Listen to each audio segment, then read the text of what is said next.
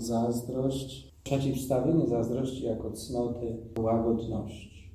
Niech Pan Bóg nas strzeże, żebyśmy właśnie kiedyś wpłynęli w ten cykl zła, w ten nurt zła, który związany z zazdrością, tą demoniczną, szatańską, która może stać się naszym udziałem, może nas prowadzić do zawiści, a zawiść nieraz może nawet prowadzić do najgorszych czynów, jaki może być na przykład nawet do zbrodni.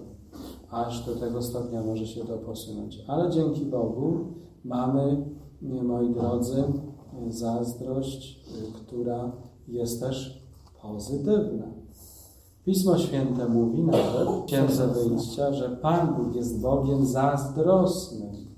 I to dosłownie jest takie tłumaczenie. Tu nie ma jakiejś manipulacji przetłumaczenia, bo musimy pamiętać, że ta cecha, właściwość, to usposobienie, ten, to postępowanie ma konotację i negatywną, która jest grzechem, która prowadzi jeszcze do większych grzechów, ale która także jest pozytywna. Pozytywna zazdrość to jest taka, która powiększa dobro. Na przykład ktoś zobaczył, yy, jak sobotę na, byliśmy na pielgrzymce i zobaczył, jak pięknie się modlimy, jak jesteśmy też radośni, tak pozytywnie i zapragnął, yy, że chciałby być w takim klimacie, chciałby na przykład jechać na następną pielgrzymkę. Albo ktoś zobaczył, jak właśnie trwa modlitwa na grupie błogosławionego Romana, czy na mm, nabożeństwie. Ktoś zobaczył jakiś inny czyjś dobry czyn, nawet zwykły, zwykłą życzliwość, mm, serdeczność, usposobienie, jakąś zwykłą, spontaniczną pomoc, odruch pomocy na ulicy czy gdzieś w sklepie. I tak to kogoś pociągnęło, że ja chcę też tak robić. Prawda? Szkoda, że tego nie mam, czy nie miałem do tej pory. Czyli pojawia się ta nutka pewnego braku, ale to pcha do dobrego. Jeden z moich uczniów, który zgłosił się ostatnio jeszcze, był ostatni termin do opisania się do konkursu biblijnego w szkole podstawowej numer 9 i pytam się, dlaczego się zdecydowałeś. Proszę księdza, bo ja Y, zobaczyłem, jak y, kolega mój właśnie się przygotowuje, jakie to jest ciekawe, zacząłem czytać i to mnie wciągnęło. No, byłem zszokowany pozytywnie siódmej klasie i właśnie ten pewien brak, można powiedzieć, ta jego zazdrość pociągnęła go do czegoś y, dobrego i szlachetnego. To jest dobry wymiar zazdrości. Pan Bóg jest bowiem zazdrosnym, ponieważ On bardzo nas kocha i pragnie, abyśmy my w wolności odpowiadali na Jego miłość. Niestety mm, zazdrość też ma wymiar negatywny y, i jej cnotą przeciwstawną, właśnie cnotą jest łagodność.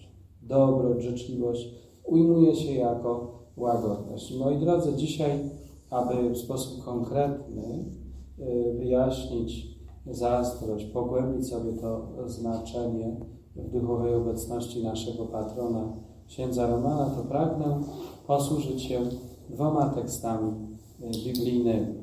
Najpierw będzie to fragment znanego nam całego 15 rozdziału, ale tylko fragment Ewangelii Świętego Łukasza, e, który e, opowiada o powrocie syna marnotrawnego, ale także opowiada o starszym bracie, który nie do końca zrozumiał, przynajmniej z początku nie zrozumiał, że należy faktycznie cieszyć się z tego powodu, że jego młodszy brat, choć zaprzepaścił majątek ojca, zhańbił imię rodziny, choć obraził Pana Boga bardzo tym, że się tak upodlił, że musiał nawet e, ze świniami jedzenie jeść, to jednak opamiętał się i wrócił.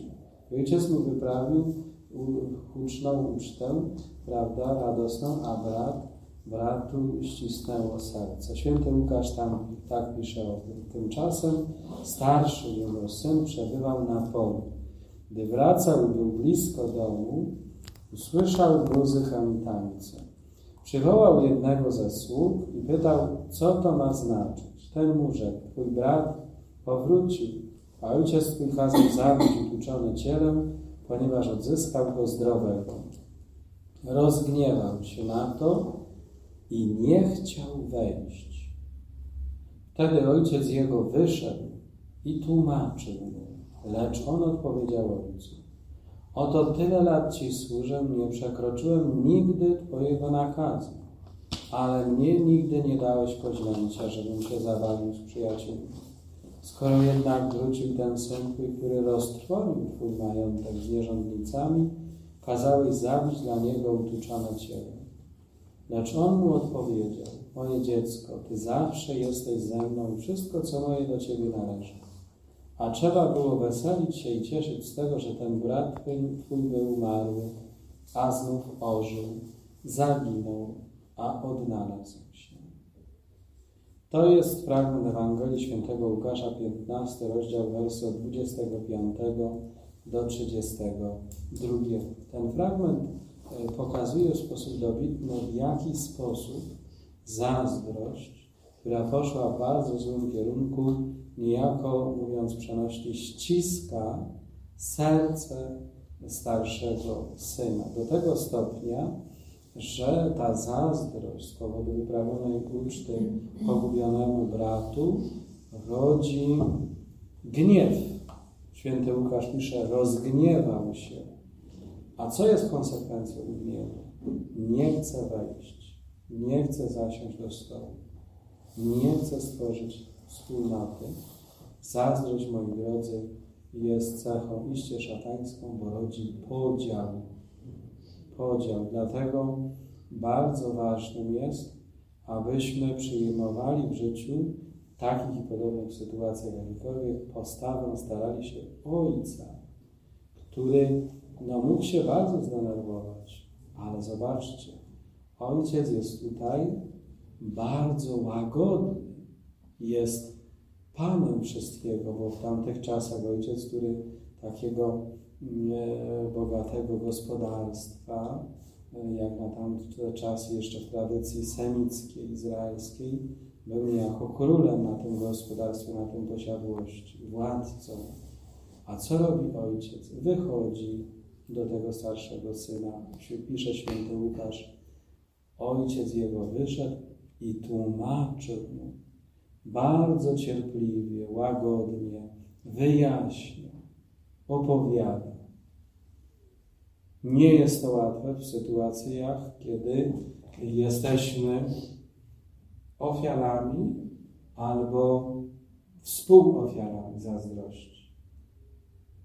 Aczkolwiek muszę Wam powiedzieć, że znam niemało osób, także w relacjach różnego środowisk, rodzin, które mają niesamowitą tą cierpliwość, łagodność, taką życzliwość, które widzą tą ogromną głupotę, grzech wynikający z zazdrości, a jednak właśnie Cię tłumaczą łagodnie, cierpliwie. Dlatego zachęcam, byście ten przykład y, z Ewangelii Świętego Łukasza y, przemyśleli, bo on pokazuje dwie postaci, Y, które są z jednej strony syna, który jest starszego, który bardzo zazdrości, nie potrafi się cieszyć y, z powodu nawrócenia swojego brata, choć po ludzku, gdybyśmy byli wyrachowani, to moglibyśmy powiedzieć po ludzku, zaznaczam, że powinien dostać burę ten syn, jaka uczta. Przecież to jest ze sprawiedliwości się mu należy. Ale tej przypowieści, jak pisze święty Jan Paweł II w encyklice o Bożym Miłosierdziu, miłosierdzie wzięło górę nad sprawiedliwością. Miłosierdzie wzięło górę nad sprawiedliwością. To jest taki piękny cytat Jana Pawła II, który mnie osobiście często się przypomina. Duch Święty przypomina. Miłosierdzie wzięło górę nad sprawiedliwością. Drugim fragmentem biblijnym, na podstawie którego chcę nadmienić o zazdrości oraz o łagodności, jest może mniej znany, albo wcale, fragment listu świętego Jakuba. To rozdział trzeci, wersy od 13 do 18. Y, Kto spośród Was jest mądry i rozsądny? niech wykaże się w swoim nienagannym postępowaniu uczynkami spełnianymi z łagodnością właściwą mądrości. Ale jeśli żywicie w sercach waszych gorzką zazdrość i skłonność do kłótni, to nie przechwalajcie się i nie kłamcie wbrew prawdzie. Nie na tym polega wstępująca z góry mądrość, ale mądrość ziemska, zmysłowa i szatańska. Gdzie bowiem zazdrość i rządza sporu, tam też bezład i wszelki występ. Mądrość zaś wstępująca z góry jest przede wszystkim czysta. Dalej skłonna do zgody, ustępliwa, posłuszna, pełna miłosierdzia i dobrych owoców, wolna od względów ludzkich i obłudy. Owoc zaś sprawiedliwości sieją w pokoju ci, którzy zaprowadzają pokój. Tu święty Jakub, apostoł, mówi wprost o grzesznej, zmysłowej, ziemskiej, wręcz szatańskiej zazdrości. I właśnie z tego to fragmentu, z tej perykopy biblijnej, e, pochodzi katowizmowe przeciwstawienie zazdrości jako cnoty, jako łagodność. Zazdrość, łagodność, życzliwość.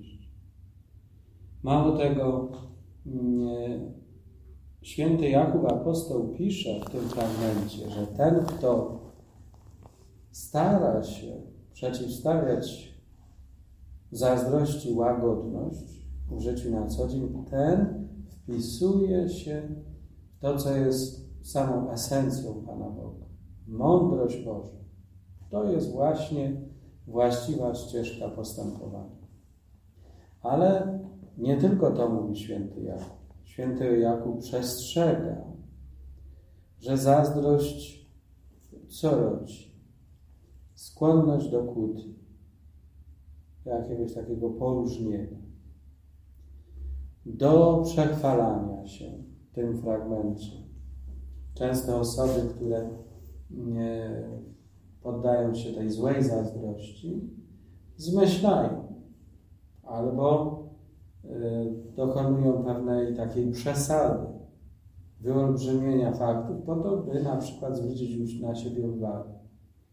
Bo wydaje im się zazdroszczą czegoś, kogoś i nie mogą do kogoś dotrzeć, tak im się wydaje.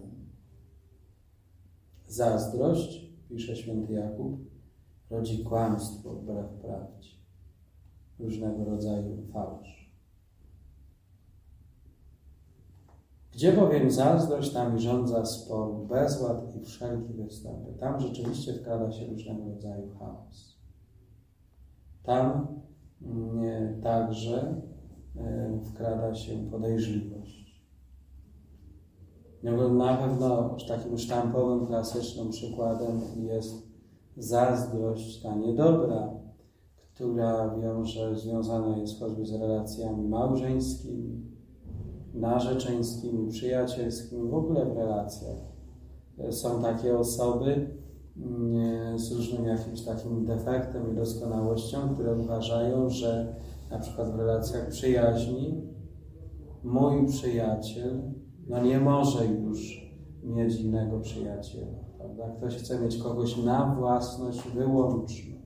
Oczywiście w małżeństwie są inne relacje, ale mamy też do czynienia z sytuacjami patologicznymi, gdzie ktoś jest ciągle sprawdzany, kontrolowany, podejrzewany, nie ma zaufania. To jest oczywiście temat rzeka, ale moi drodzy, warto, słuchając dzisiaj tych słów Słowa Bożego, modląc się przed ręce księdza Romana o ducha łagodności, pomyśleć o tym, czy mnie w jakichś relacjach ludzkich nie dotyczy właśnie może jakaś tylko namiastka, jakieś zarzewie, ale warto to skorygować, bo diabeł przez zazdrość może bardzo ukraść duszę.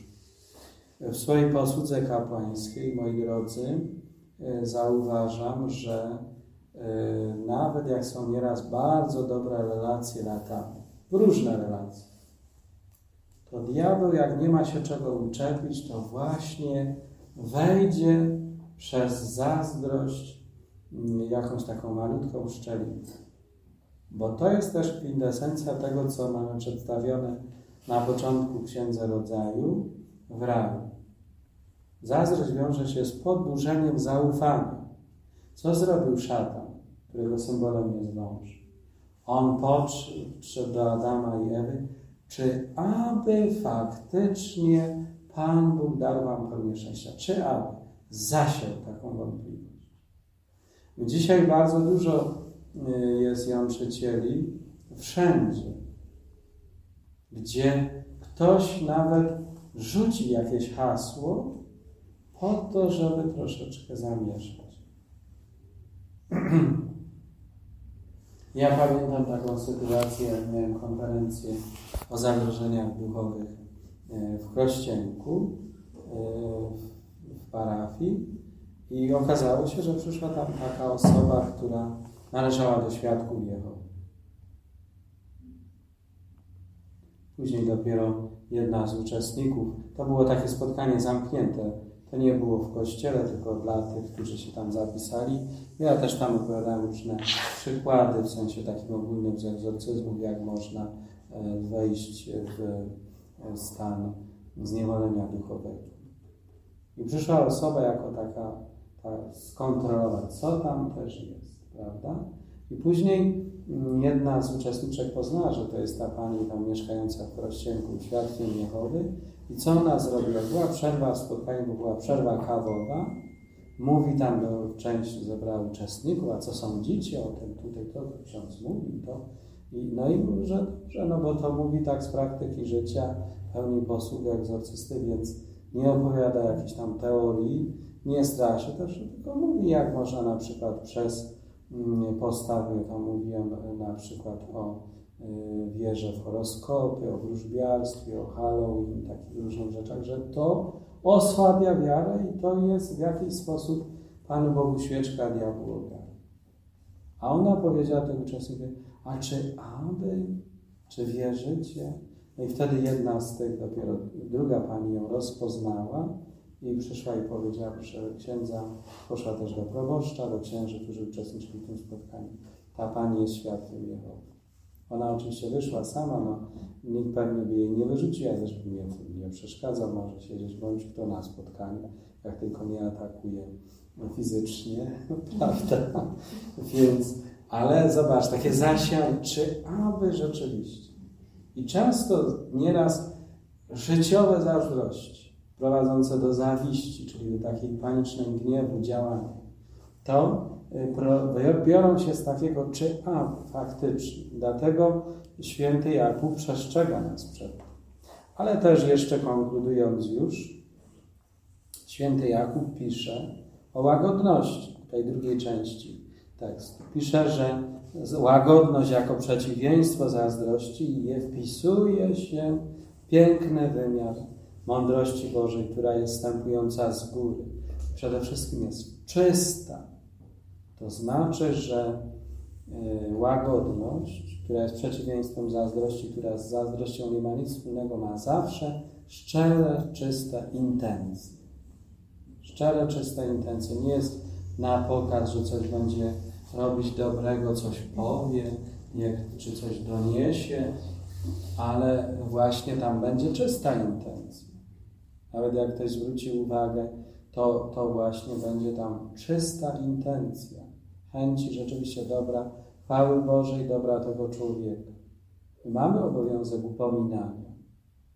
Za dużo nieraz jest chowania głowy w piasek, ale trzeba właśnie oczyścić swoją intencję. Dalej, jaka jest łagodność, czy jako przeciwieństwo zazdrości?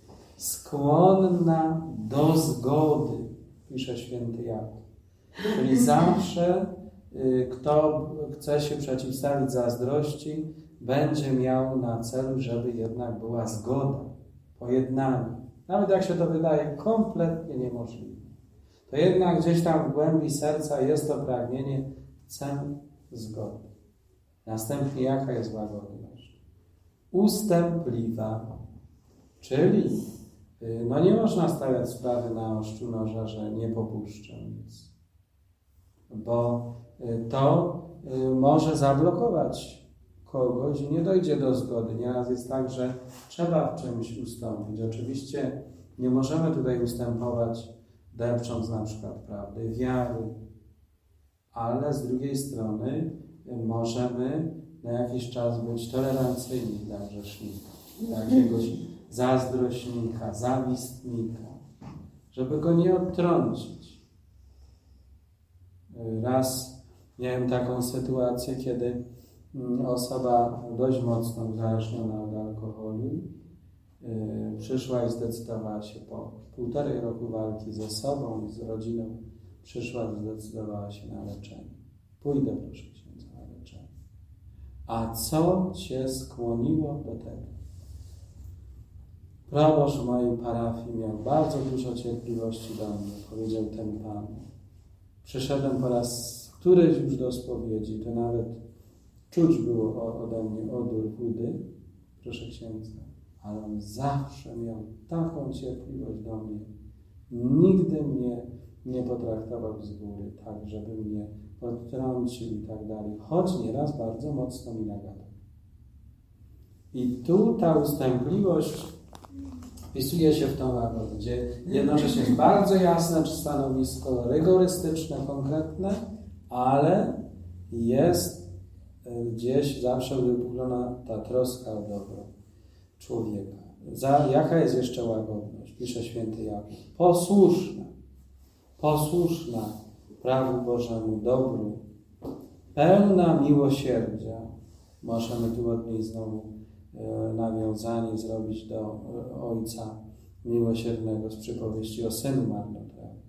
Pełna miłosierdzia i dobrych owoców. Łagodność wcześniej czy później, nawet jakby nie było widać, przyniesie owoce dobre. Wolna dalej od względów ludzkich i obłudy. Czyli nie ma tam jakichś interesów, prawda, e, znajomości, konszaktów takiej chrześcijańskiej łagodności. I jest traktowanie wszystkich jednakowo. Nie ma zafałszowania, obłudy, że ktoś będzie dla kogoś łagodnym, by kogoś, nie wiem, nie rozgniewać i tak dalej. Albo często tak jest, że nieraz latami w rodzinach jest przemoc psychiczna, fizyczna, duchowa jakakolwiek inna i ktoś y, udaje, że jest łagodny, bo nie podejmie jakiegoś konkretnego kroku. No nieraz nawet yy, trzeba dokonać kroku drastycznych. Tak mówi też klasyczna yy, psychologia, psychoterapia, która yy, po prostu wpisuje się w, w pracę z osobami uzależnionymi. Nawet gdyby był nieraz stopień przemocy stały i tak dalej, trudno funkcjonować. Jest, y, nie, nie można opiniać osobę, która nie wiem, wezwała policję na męża alkoholika, czy na wręcz przeciwnie. Jest to w końcu zrobiony gest, bo rodzina, dzieci, no mogłoby się to źle skończyć. Za łagodność rodzi Sprawiedliwość rodzi pokój, konkluduje, kończy święty Jakub. Moi drodzy, dzisiaj tak bardziej chciałem się posłużyć Słowem Bożym, bo przykładów zazdrości jest setki, przeróżnych. Dlatego y, niech to ta myśl, Słowo Boże owocuje. Moi drodzy, bardzo dużo zazdrości jako wymienieniu grzechu, zazdrości, zawiści, i trochę opisie jest w listach świętego Pawła, zwłaszcza do Rzymian, Galatów i w pierwszym liście do Koryntiów. Klasycznym przykładem biblijnym o zazdrości jest także yy, przykład z czwartego rozdziału Księgi Rodzaju, gdzie mamy opis sytuacji dwóch braci, Kain i Abel. Bardzo Panu Bogu się podobała ofiara Abla, ponieważ składał ją szczerze, z czystym sercem A ofiara Kaina była nieszczera, niecałkowita, niepełna. Panu Bogu się nie podobała, ale Kain zamiast się opamiętać i oczyścić swoją intencję, to zaczął mieć pretensje do brata, że zazdrościć mu tą złą zazdrością, że Pan Bóg bardziej wejrzał na jego ofiarę niż na niego. I posunęła się ta zazdrość do zawiści, do wielkiego gniewu i w afekcie, w gniewie, w zawiści, owładnięty złem, zabił swojego brata.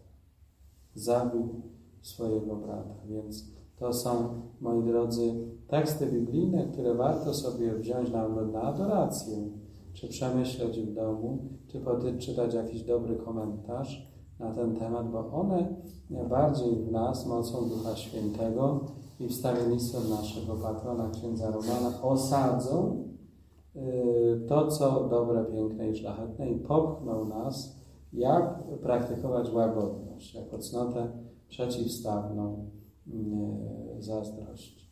Moi drodzy, jeszcze jedna myśl. Zazdrością y, wiąże się nieraz bardzo, bardzo śmieszne, dziwne zachowanie, jaką jest właśnie, jakim jest sprawdzanie, y, jakim jest podsłuchiwanie, przepraszam, nie, wyciszyłem sobie, jakim jest, moi drodzy, y, śledzenie w różnej postaci, byleby, byleby, y, byleby weryfikować, byleby po prostu w jakiś sposób no, drugą osobę, y, no nie dawać jej wolności. Zazdrość przeciwia się wolności. Dlatego mm, bądźmy świadkami. Ja miałem raz taką sytuację w życiu, kiedy okazało się, że przez mm, kilka tygodni byłem podsłuchiwany.